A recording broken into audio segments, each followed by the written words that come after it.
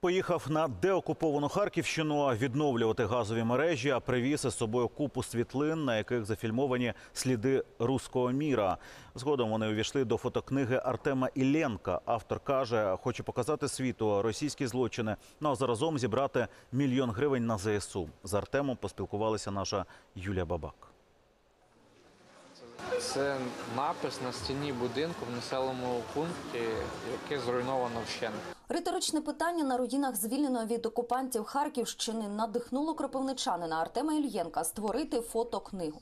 Шість розділів, 150 ексклюзивних фотофактів російських злочинів. Працівник газової компанії зібрав під час робочих поїздок на звільнені восени минулого року території.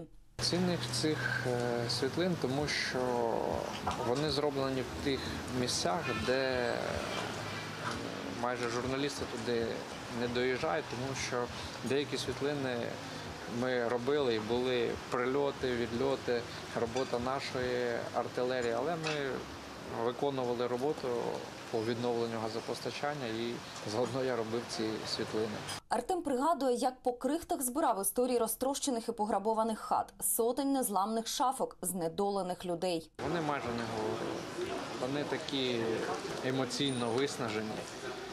І ти коли навіть приїжджаєш, е, з ними проводиш час, в них в очах, всі емоції в них в очах, вони як спустошені. Після основної роботи Артем годинами ходив селами привидами, іноді впритул до російського кордону. Дуже хвилювалася за нього. Зв'язку не було. А туди, де знаходив людей, повертався з гуманітарною допомогою. Тому що ми розуміли, що там не магазини не функціонують ну, так, як потрібно.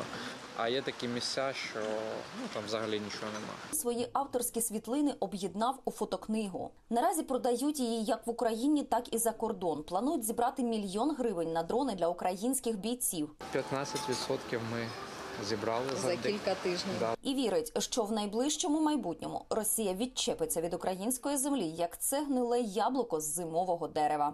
І Рано чи пізно це яблуко впаде, так як і країна-агресор програє війну, яку вона розпочала.